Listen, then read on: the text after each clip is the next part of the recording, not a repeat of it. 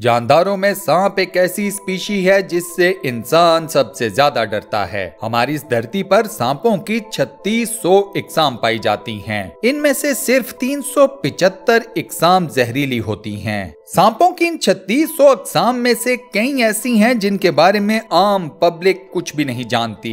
मज़े की बात यह है दोस्तों कि सांपों की ये सारी किस्में बेहद अजीबो गरीब हैं और ये अजीबो गरीब और मिस्टीरियस सांप ही हमारी आज की इस बेहद इंटरेस्टिंग वीडियो का टॉपिक है। तो फिर देर किस बात की? आइए चलते हैं सांपों की इस मिस्टीरियस दुनिया में, लेकिन उससे पहले चैनल को सब्सक्राइब ज़रूर कर लें और साथ बने हुए बेल के आइकन को लाजमन प्रेस कर दें सांपों की इन मिस्टीरियस अकसाम में से पहले नंबर पर है द फ्लाइंग स्नेक। जब एक रेंगता हुआ सांप हमें इस कदर डरा देता है तो सोचें, कुड़ने वाला सांप हम इंसानों का क्या हाल करे? उड़ने वाले सांप का नाम सुनकर डर लगा ना? लगना भी चाहिए। फ्लाइंग स्नेक का पूरा नाम है पैराडाइज फ्लाइंग स्नेक। इसका साइंटिफिक नाम है Chrysopelea. Flying snake Indonesia, Malaysia और फिलीपींस के जंगलात में पाया जाता है। अब इस सांप का नाम तो फ्लाइंग स्नेक है, लेकिन टेक्निकली ये सांप उड़ता नहीं है, बल्कि हवा में ग्लाइड करता है। अब जब इस सांप को एक दरख्त से दूसरे दरख्त की तरफ़ जाना होता है तो ये दरख्त की एक टहनी के एज पर जाता है। वहाँ जाकर ये अपनी पसलियों को सुकेड़ लेता है, अपने पेट को फुला लेता है और वहाँ से जंप कर देता है। हवा में पहुंचकर ये सांप अपने आप को बेहद पतला कर लेता है लंबा कर लेता है, जिसकी वजह से ये काफ़ी ज़्यादा डिस्टेंस हवा में कवर करने की पोजीशन में आ जाता है। फ्लाइंग स्नेक हवा में 100 मीटर का डिस्टेंस बेहद आराम से कवर कर सकते हैं। अब फ्लाइंग स्नेक जहरीले होते हैं, लेकिन इंसानों के लिए ज़्यादा खतरनाक साबित नहीं होते। ये छिपकलियों और दीगर कीड़े मकोड़ों को अपनी खुराक बनाते हैं और ज़्यादातर वक्त ये दरख्तों के ऊपर ही बिताते हैं। वैसे दोस्तों, आपके साथ कभी ऐसे हुआ है कि अचानक से कोई सांप आपके सामने आ गया हो? मेरे साथ हुआ और मैंने वहाँ से दौड़ लगा दी। कहा जाता है कि सांप अगर आपके सामने अचानक से आ जाए तो उसका रास्ता छोड़ दें। इसी में आपकी भी भलाई है और सांप की भी। आप दोस्त, इस बारे में क्या कहते हैं, मुझे अपना जवाब कमेंट सेक्शन में ज़रूर बताइएगा। नंबर टू पर है ब्लू कॉरल स्नेक। इस सांप को ये नाम इसकी बेहद खूबसूरत नीले रंग की चमकदार स्किन की वजह से दिया गया है। यह सांप दिखने में जितना खूबसूरत है, असल में ये उतना ही खतरनाक भी है। इस सांप को किलर ऑफ़ किलर्स कहा जाता है। ये जहरीले से जहरीले सांप को भी खत्म करने की कैपेसिटी रखता है। जहाँ दूसरे जहरीले सांपों के जहर में आपको न्यूरोटॉक्सिन मिलता है, वहीं इस ब्लू कोरल स्नेक के जहर में आपको साइटोटॉक्सिन मिलता है। ये बात जहन में रखिएगा की साइटो टॉक्सिन का अभी तक कोई एंटी वेनम तैयार नहीं हो पाया। दुनिया भर के सांपों में इस एक सांप के अंदर मौजूद जहर की पोटली साइज़ में सबसे ज़्यादा बड़ी है। ब्लू कोरल स्नेक की लंबाई का एक चौथाई हिस्सा उस जहर की पोटली पर मुश्तमिल होता है जो कि इसके जिस्म के अंदर मौजूद होता है। अब आप अंदाज़ा लगा लें कि इस सांप के अंदर कितना जहर मौजूद होता है। ऑन एवरेज ये सांप पाँच से छह फुट लंबा होता है और ये इंडोनेशिया मलेशिया, ब्रोनाई, बर्मा और थाईलैंड में पाया जाता है, जहाँ दीगर जहरीले सांपों का जहर इंसान के ऊपर आहिस्ता आहिस्ता असर करता है। वहीं इस सांप का जहर सेकंड्स के अंदर एक आम इंसान को मुर्दा कर देता है।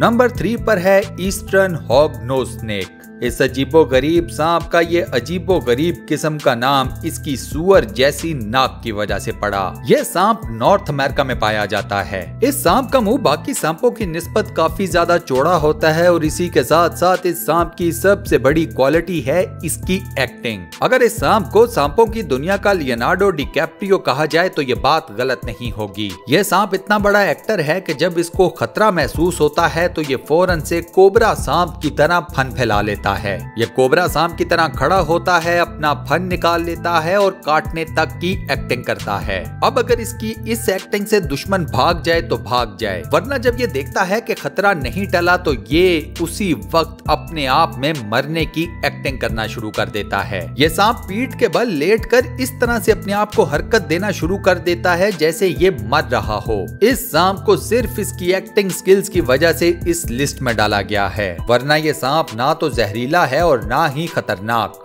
नंबर फोर पर है रेनबो बोआ। इस सांप को सिलेंडर बोआ भी कहा जाता है और ये सांपों की दुनिया में चंद एक खूबसूरत तरीन सांपों में से एक है। ज़्यादातर लोग इस खूबसूरत सांप को पेट के तौर पर पालते हैं। ये सांप अपनी खूबसूरती का क्लाइमैक्स उस वक्त अचीव करता है जब इसके ऊपर सूरज की रोशनी पड़ती है। बाय नेचर इस सांप की स्किन के अंदर एक होलोग्राफिक इफ़ेक्ट है। जब इस सांप के ऊपर सूरज की रोशनी पड़ती है तो ये हर रंग को बेहद खूबसूरत तरीके से बिखेर देता है। इसकी स्किन खास तौर पर मुख्तलिफ़ रंगों को कंबाइन करती है और एक खूबसूरत इम्तजाज या कम्बिनेशन पेश करती है। इस बात में कोई शक नहीं कि इस सांप को सूरज की रोशनी में देखने का ही कुछ और है।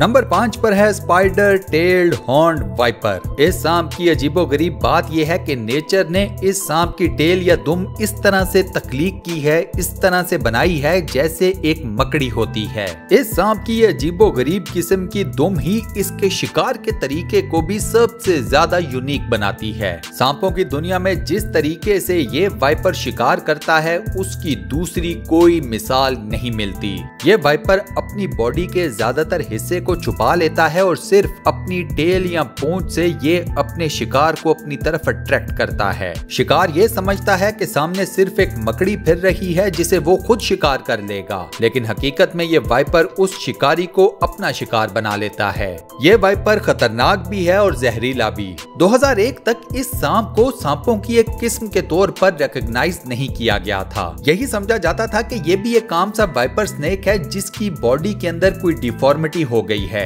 इस सांप की पूंछ को इसकी बॉडी की डिफॉर्मिटी या इसके अंदर किसी खास किस्म की म्यूटेशन का नतीजा समझा गया। 2001 के बाद इस तरह का एक और सांप साइंसदानों के सामने आया तो पता चला कि ये सांपों की एक अलग सी किस्म है। 2006 में इस वाइपर को सांपों की एक अलग सी स्पीशी के तौर पर रजिस्टर किया गया।